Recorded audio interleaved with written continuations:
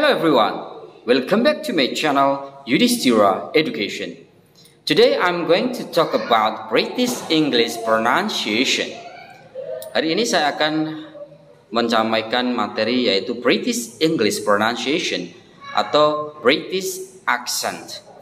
Di video saya sebelumnya saya sudah menyampaikan terkait dengan American accent atau American English.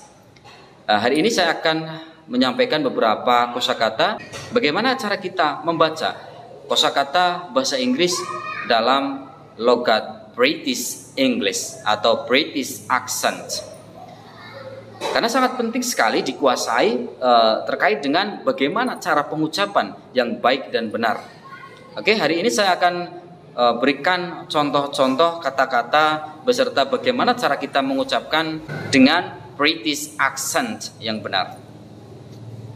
Oke, okay, the first. Yang pertama adalah ini adalah uh, simbol cara baca dalam bahasa Inggris. Ini dibaca a. Oke, okay? a. Kalian bisa praktekkan a. Ada beberapa kata yang uh, me memiliki cara baca a. Saya contohkan hot, hot, hot. Kalau dalam American English itu hard, tapi kalau British English itu hard. Oke, okay? hard, hard. Next, car, car, car. R-nya disamarkan atau bahkan dihilangkan. R-nya sama sekali tidak ada ya. Car, car, dark, dark.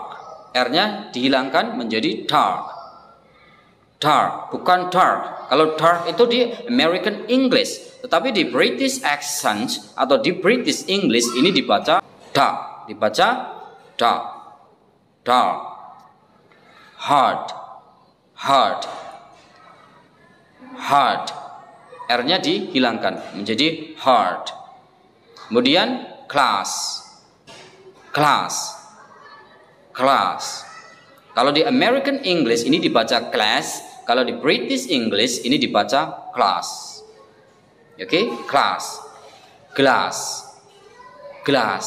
Di American English dibaca glass, kalau di British English itu dibaca glass. Glass. But. But.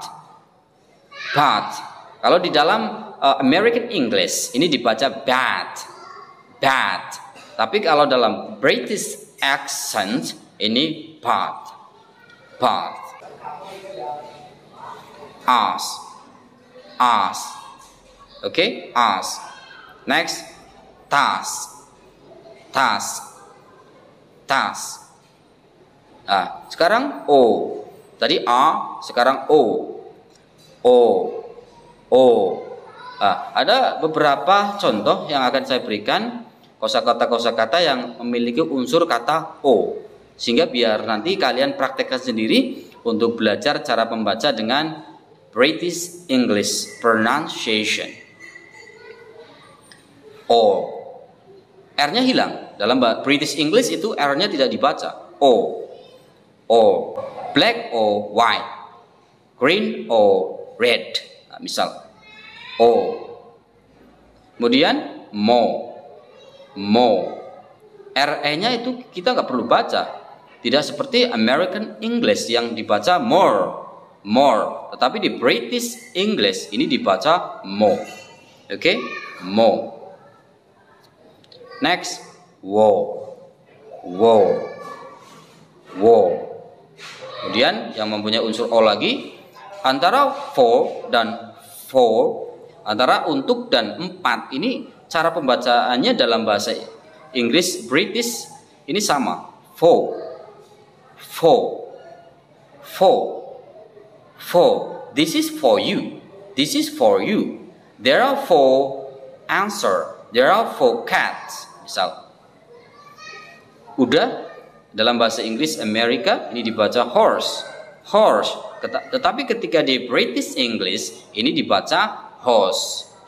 Horse host host kemudian uh, unsur bahasa atau unsur kata ear Simbol ini dibaca i, i, i, i. Nah, saya berikan contoh beberapa kata yang memiliki unsur baca i. Cara bacanya ada i-nya. Contoh i. R-nya hilang. I. I. I. Beer. Beer. Beer. Beard beard beard here here here kalian bisa praktekkan? Here kalau dalam American English ini dibaca here kalau dalam British English ini dibaca here. Here. Nah sama dengan he, ini here ini juga sama here here dear dear R-nya dihilangkan menjadi dear kalau di American English ini dibaca dear, tapi di British English ini dibaca dear. Oke? Okay? Simbol ini kita baca air, air, air, air. Uh, saya berikan beberapa contoh kata dalam bahasa Inggris yang memiliki unsur baca air. Yang pertama adalah bear, bear, bear. Tidak ada R-nya di belakang, tidak ada huruf R-nya di belakang. Kita hilangkan total. Karena ini di British English ini memang ketika ada huruf R di belakang itu kita tidak akan pernah baca atau malah kita hilangkan total menjadi bear. Bear. Next. Care. Care. Care. Care. Bukan care tetapi care. Share. Share share. Kalau dalam American English ini dibaca share, kalau dalam British English ini dibaca share. Share. Oke? Okay? Fair. Fair. Fair. Next, where. Where. Where. Where. Bisa dipraktekkan oleh kalian. Uh, American English selalu mengatakan where.